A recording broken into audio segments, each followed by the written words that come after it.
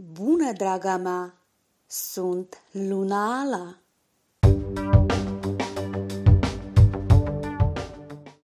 Decembrie va fi pe un val destul de pozitiv pentru majoritatea semnelor zodiacale, iar balanța muncitoare nu va face excepție. În acest sens, cel mai de succes segment al lunii este perioada de la 14 la 31 decembrie, când planeta noastră se va afla în zona vibrațiilor cosmice armonioase. Balanța are nevoie de odihnă. În decembrie, te vei simți foarte obosită de tot și de toate. Acesta este rezultatul muncii tale grele de-a lungul anului. Acum gândește-te cum te vei recupera și cum te vei relaxa. Întâlnirea cu prietenii și rudele va adăuga o stare de spirită bună. Cu cineva apropiat, te așteaptă o conversație dificilă. Dragoste. Balanța este foarte fericită cu partenerul ei. Pentru a nu pierde armonia, acordă sprijin celeilalte jumătăți, redu presiunea asupra lui, încearcă să găsești interese comune. Reprezentanții unei familii se vor gândi la copii, la creșterea lor și la viitor. Este timpul să faci planuri și să le pui în practică. Balanța singură nu se grăbește să-și conecteze soarta cu o persoană nouă, dar o tendință cu una dintre relațiile anterioare este destul de probabilă. Va apărea o persoană din trecut care te va face nostalgică. Amintește-ți că o a doua șansă poate fi acordată doar dacă ești pregătită pentru o altă dezamăgire. Sănătatea. Verifică-ți tiroida.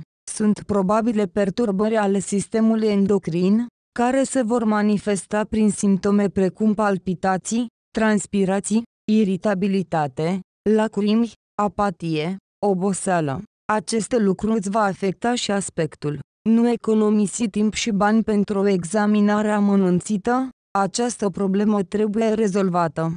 Un test de sânge elementar în clinică va da un rezultat suficient despre starea de sănătate. În a doua decada a lunii decembrie, balanța este probabil să aibă exacerbări ale bolilor sistemului genito-urinar și sunt posibile dificultăți de concepție. Dacă ai planificat o operație, este mai bine să o amâni până luna viitoare. Intervențiile chirurgicale în decembrie vor avea succes, dar perioada de recuperare poate fi mai lungă decât de obicei. Jocurile cu imagine îți vor face bine, poți îndrăzni să încerci imagini noi banii. La locul de muncă, este important să-ți finalizezi toate proiectele, nu lăsa cost pentru anul următor. Munca îți va fi bine apreciată și plătită, așa că nu trebuie să-ți faci griji că fondurile nu vor fi suficiente pentru a trăi. În plus, multe balanțe vor putea primi bonusul mult așteptat. Nu ar trebui să te epuizezi cu munca non-stop, altfel vei duce corpul la epuizare sau într-un pat în spital. Antreprenorii individuali vor putea atinge un nou nivel. Poți întâlni investitori și parteneri care îți vor rămâne mult timp alături. În general, o lună de mare succes pentru oamenii de afaceri, decembrie va da roade în favoarea balanței. Nu vei rămâne îndatorată celor care te-au ajutat. La sfârșitul anului, poate apărea o situație neprevăzută care va necesita o soluție rapidă.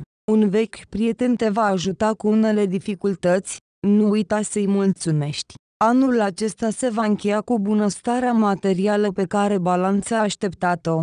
Dar nu te grăbi în cele mai scumpe, așteaptă puțin când ofertele sunt cele mai benefice. Zilele în care norocul va bate la ușa ta sunt afișate pe ecran.